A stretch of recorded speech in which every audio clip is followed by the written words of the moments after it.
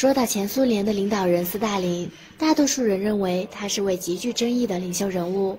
在有些苏联人眼里，他性格冷酷而残暴，他可以做出虐待战俘和进行国内大清洗的残酷命令。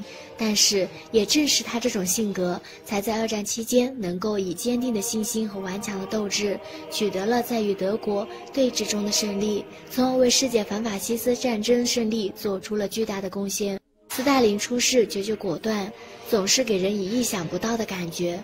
在对待自己儿子雅科夫·朱加什维利被俘后，希特勒想他儿子来交换德军元帅的这件事上，就很值得让人敬佩。雅科夫·朱加什维利是斯大林的大儿子，自小性格也是很坚强。他参军后担任了苏军第十四坦克师的一名中尉军官，在一九四一年。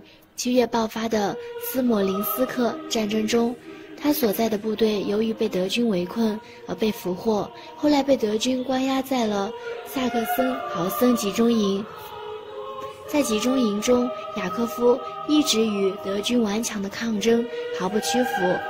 一九四二年六月。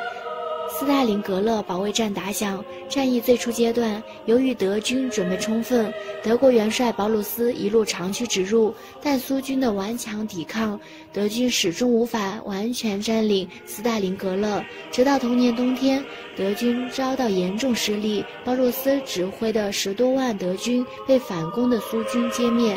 一九四三年二月，保鲁斯率领数万德军投降。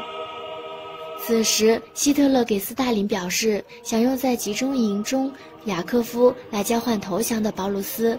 但是，斯大林在思考之后，做出了一个出人意料的决定，他拒绝了希特勒的建议，并且给希特勒回复说：“我是不会用一名将军交换一名士兵的。”他的这句话让许多人感到无比震撼。